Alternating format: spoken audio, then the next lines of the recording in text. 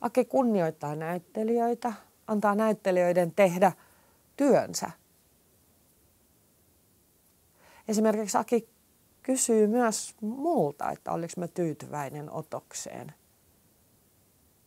Haluanko mä uusinta oton, mikä on hyvin harvinaista, että niin ohjaaja kysyy näyttelijältä.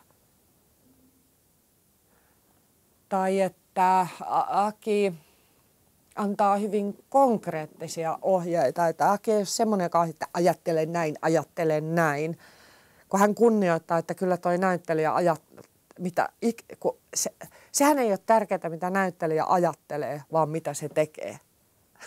Koska tota noin, niin, että jos kysyy Akilta, että miten, miten mä avaan tämän oven, niin se ei niin kuin mahdollisesti käsitä kysymystä, kun sille se on niin että jos sanon kirjoittanut, että avaa oven, niin se avaa sen oven, ei siinä ole mitään sen kummempaa.